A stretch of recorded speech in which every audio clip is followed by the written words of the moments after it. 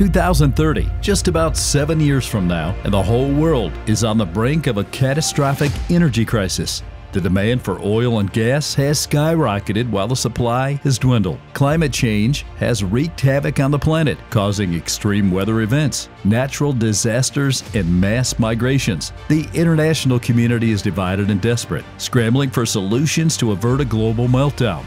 But one entity has a powerful plan to dominate the world's energy market, an entity that has been quietly and secretly plotting for decades manipulating the oil prices, influencing the geopolitics, and investing in alternative energy sources. An entity that is part of a new world order, where it holds the ultimate power and control over the fate of humanity. That entity is OPEC. You see, OPEC or the Organization of the Petroleum Exporting Countries, is a cartel of 13 oil rich nations that produce about 40% of the world's crude oil and 15% of its natural gas.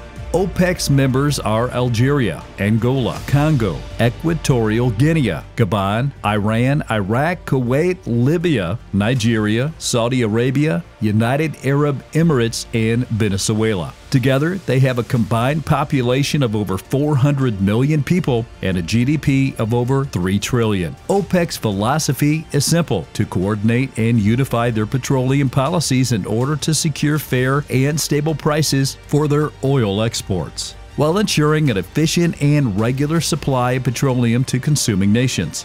OPEC's strategy is to use their collective bargaining power to influence the global oil market while balancing the interests and needs of their individual members. As you'll later find out, OPEC is evolving from an oil cartel to an energy superpower by acquiring and investing in zero emissions energy production such as hydrogen, wind, and solar energy. The Energy Organization plans to collaborate with BRICS countries, that is, Brazil, Russia, India, China, South Africa, which are emerging as major players in the global energy market, while competing and clashing with Western governments imposing strict regulations and sanctions on fossil fuels. OPEC's plan is about to be unveiled, and it will shock the whole world. This is the story of how OPEC's powerful plan leads to the domination of the world energy market. Stay tuned because we'll take you behind the scenes of OPEC's secret meetings, negotiations, and deals in just a bit. This story will expose OPEC's cheating and collaboration among its members. We will also reveal OPEC's acquisitions and investments in renewable energy projects. Follow closely until the end because we will examine OPEC's relationship with BRICS countries and their impact on the global energy landscape. This story will change everything you thought you knew about the future of energy.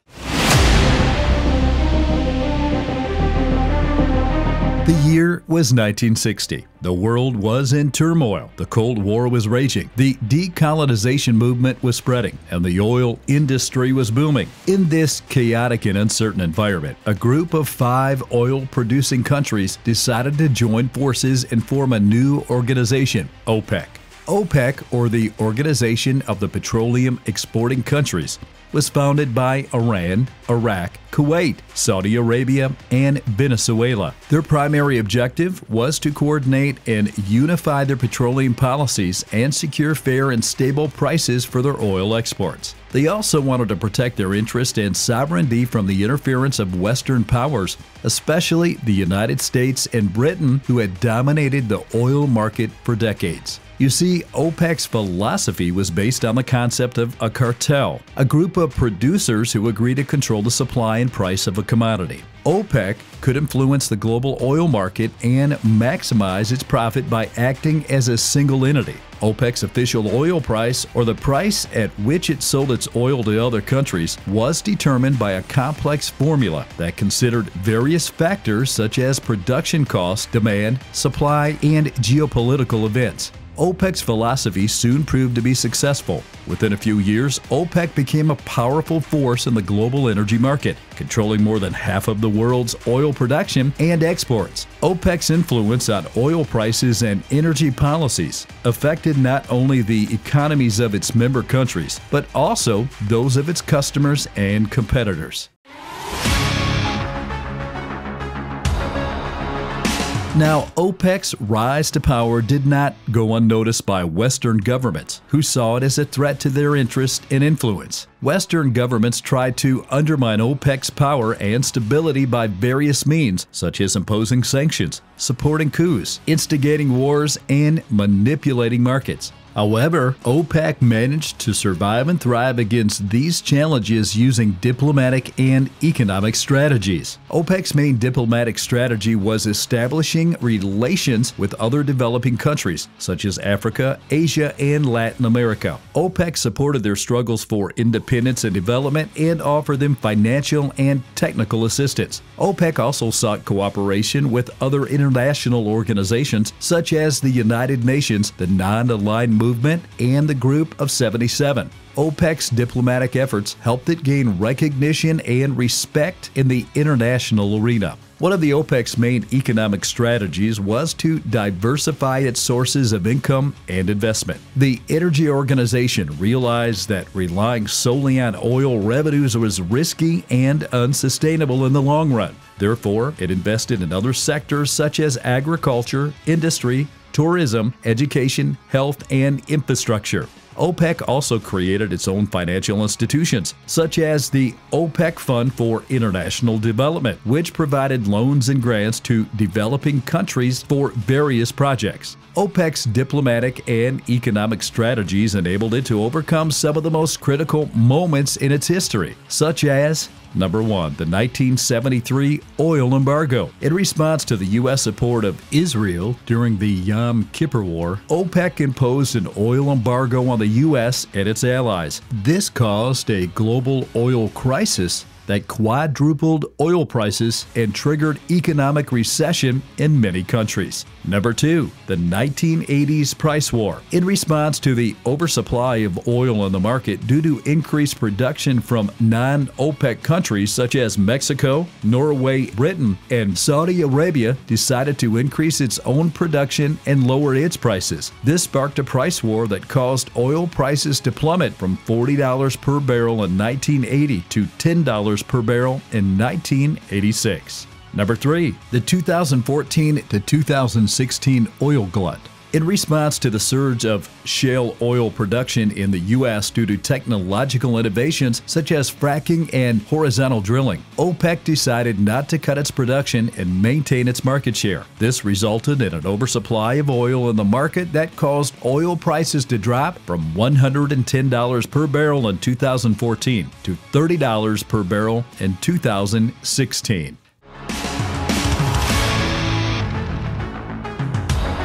While OPEC presented itself as a unified organization with common goals and interests, the reality was more complex and nuanced. Its members often had different agendas that sometimes conflicted with each other. As a result, there was a delicate balance between collaboration and competition within OPEC. Now, one of the main sources of tension within OPEC was cheating. Cheating refers to the practice of producing more oil than agreed upon by OPEC quotas. Quotas limit how much oil each member country can produce and export. OPEC sets them based on various factors such as demand, supply, reserves, and costs. Cheating is tempting for OPEC members because it allows them to increase their revenues and market share. However, cheating is risky because it undermines the organization's credibility and effectiveness.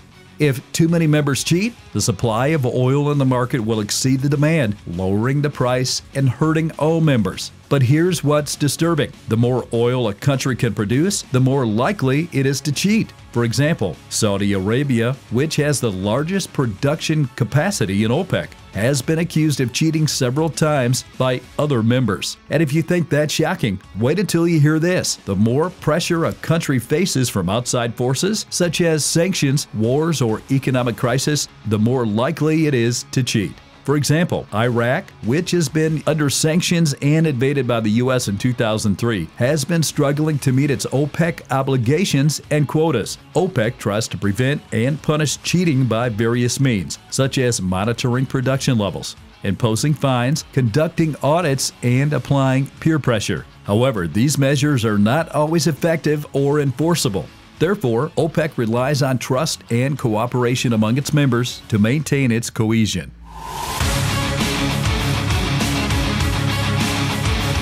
The world is facing a looming global energy crisis that threatens the future of humanity. Burning fossil fuels such as oil and gas, for example, releases greenhouse gases like carbon dioxide into the atmosphere. These gases trap heat and cause global warming, which leads to extreme weather events, rising sea levels, melting ice caps, loss of biodiversity, and more hazardous effects. To combat climate change, many nations have set ambitious targets to reduce their greenhouse gas emissions to net zero by 2030 and beyond. This means they must stop emitting more greenhouse gases than they can remove from the atmosphere. To achieve zero emissions targets, many countries and regions have to transition from fossil fuels to renewable energy such as wind, solar, hydro, and geothermal, among others. But as more countries switch to renewable energy sources, the demand for oil and gas will decline. This will lower the revenues for OPEC members.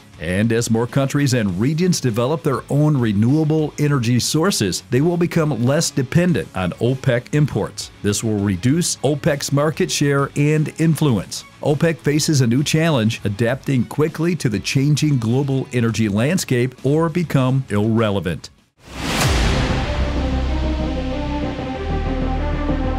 The truth is, OPEC is not oblivious to the looming global energy crisis. In fact, OPEC has been aware of the need to adapt to the changing energy landscape for a long time. OPEC has been evolving its strategy to cope with new realities and opportunities over the years. One of the main aspects of OPEC's evolving strategy is improved communication and cooperation among its members. OPEC has realized that to survive and thrive in the new energy era, it has to act as a unified organization with a clear vision and direction. Therefore, it has enhanced its internal mechanisms mechanisms for dialogue and decision making among its members. The organization has also increased the frequency and quality of meetings and consultations among its experts.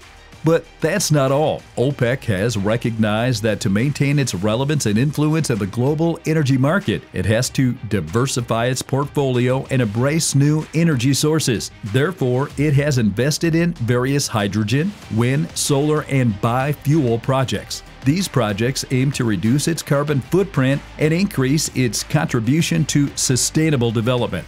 In reality, OPEC's evolving strategy reflects its willingness and ability to adapt to the changing energy landscape. Its evolving strategy is a complex and dynamic process that involves trade offs and uncertainties. However, it is also an inevitable process that reflects its adaptation to the changing global energy landscape. If you don't mind, consider hitting the subscribe button. It really helps our channel grow.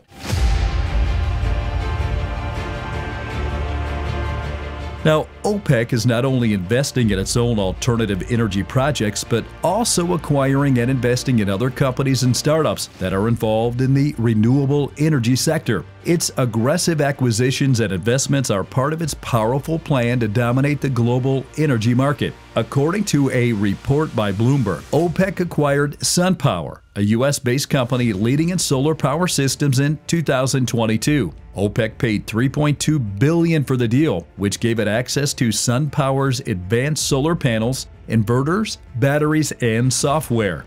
It also gained a foothold in the U.S. market, one of the largest and fastest growing markets for solar energy. According to a report by Reuters, OPEC invested 500 million in Hydrogenious, a German-based startup pioneer in hydrogen storage technology in 2023. It acquired a 25% stake in the startup, which enabled it to benefit from Hydrogenious Innovation liquid organic hydrogen carrier technology, which allows for safe and efficient storage and transport of hydrogen. OPEC also strengthened its presence and influence in Europe, one of the most ambitious and progressive regions for hydrogen energy. The truth is, OPEC's acquisitions and investments in the renewable energy sector are part of its powerful plan to dominate the global energy market. By acquiring and investing in these companies and startups, OPEC diversifies its portfolio, reduces its dependence on oil and gas revenues, and adapts to cutting edge technologies and innovations to enhance its alternative energy production and efficiency. But that's not all.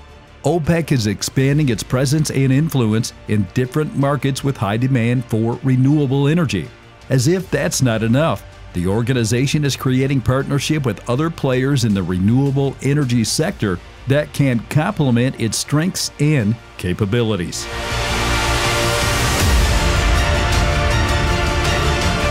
Now, OPEC is not only acquiring and investing in alternative energy projects, but also marketing them to the public as part of its strategic plan to dominate the global energy market. OPEC's marketing strategy is designed to achieve two things. Number one, to improve its image and reputation as an environmentally responsible organization that cares about the planet and its people. Number two, to increase its market share and influence as a leading provider of sustainable energy solutions that meet the needs and expectations of customers. As part of its PR strategy, OPEC's new logo features a green leaf symbolizing nature and life.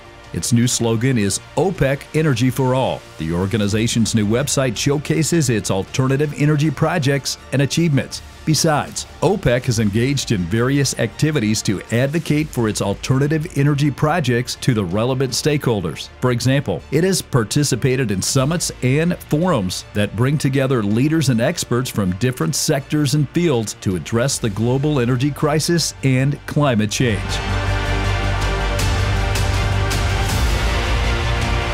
OPEC is not alone in its powerful plan to dominate the global energy market. It strongly connects with another group of countries that are rising in power and influence, BRICS. BRICS stands for Brazil, Russia, India, China, and South Africa. These five countries are considered emerging economies that significantly impact global affairs. Now, the five countries have a combined population of over 3 billion people, which accounts for more than 40% of the world's population. They have a combined GDP of over 20 trillion, which accounts for more than 20% of the world's GDP and have been growing at an average annual rate of over 5% in the past decade.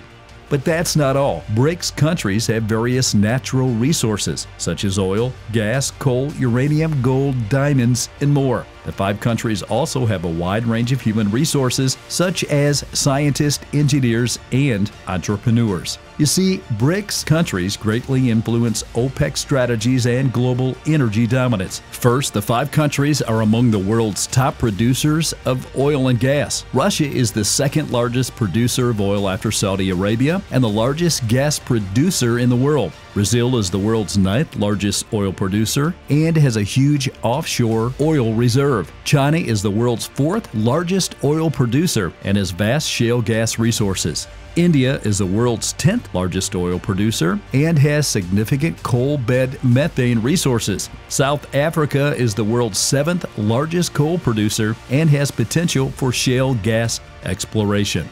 But there's more. BRICS countries are among the world's top consumers of oil and gas. China is the world's largest oil consumer after the U.S. and the third largest gas consumer in the world after the U.S. and Russia. India is the third largest consumer of oil in the world after China and the U.S., and the fourth largest gas consumer after China, Russia, and the U.S. Brazil is the eighth largest consumer of oil in the world and the 10th largest consumer of gas in the world. Russia is the ninth largest consumer of oil in the world and the second largest consumer of gas in the world. South Africa is the 11th largest consumer of oil in the world and the 14th largest gas consumer globally. BRICS countries are not only related to OPEC but also cooperate with OPEC on some issues. The alliance shares some common goals with OPEC, such as ensuring energy security and stability for their economies.